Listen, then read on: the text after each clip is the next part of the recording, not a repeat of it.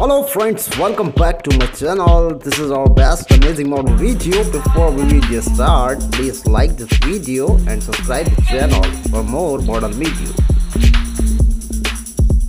Today we pick the model. This model name is Tayler Hills. Tayler Hills is a plus size fashionable beautiful model.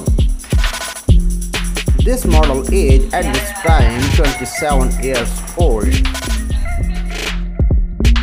and her height 5 feet 10 inch tall.